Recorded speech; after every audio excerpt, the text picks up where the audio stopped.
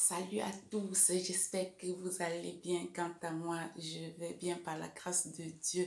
Et voilà, d'habitude, on a l'habitude de se retrouver au début de la semaine, mais cette fois-ci, c'est plutôt à la fin de semaine parce qu'on a lancé une nouvelle activité. Nous sommes toujours, toujours euh, dans l'entrepreneuriat et nous venons de lancer l'activité de la coiffure. Et nous avons travaillé sur la page Facebook toute la semaine et nous avons également lancé euh, Instagram avec cette activité avec le nom de Arte delle Trecine.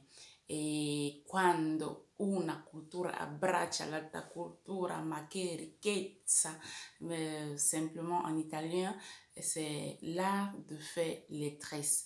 Quand une culture embrasse l'autre culture, mais quelle richesse!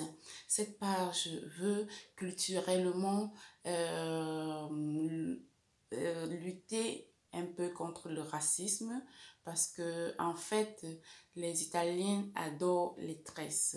Et moi j'aime c'est une de mes passions.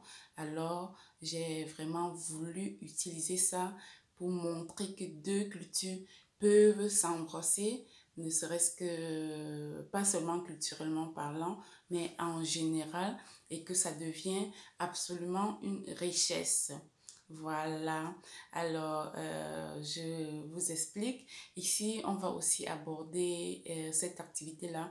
Vous savez, la coiffure, c'est un monde qui est vaste et intéressant. Et c'est quelque chose qui est basé aussi sur la passion, sur le talent, tel que nous insistons dans toutes nos, nos activités.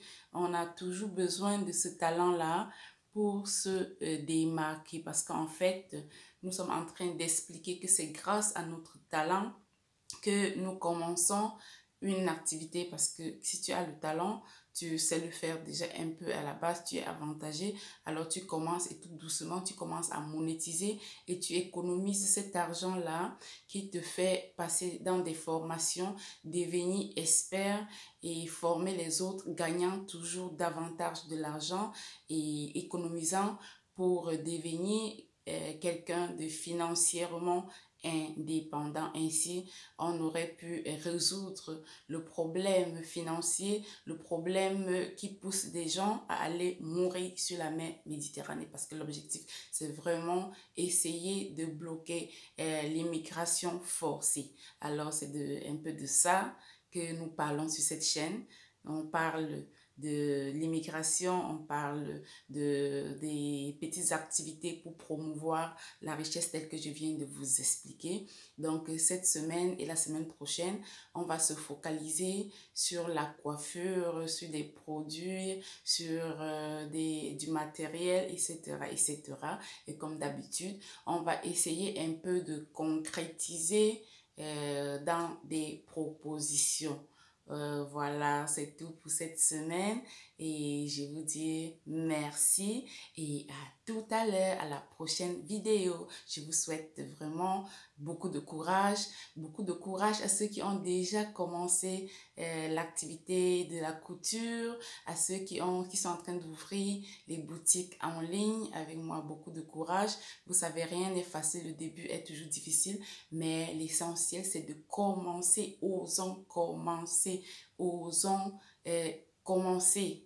C'est très important parce que c'est en commençant que tu te rends compte de comment euh, ça, ce, ce que tu fais, qu'est-ce que ça donne. Voilà, c'est plus objectif. Ça devient, quand tu commences, tout tu vois plus clair. Donc, osons commencer. N'ayons pas peur de faire des erreurs.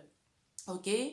Euh, voilà, c'est notre slogan, c'est de zéro à héros. Le succès est la portée de tous.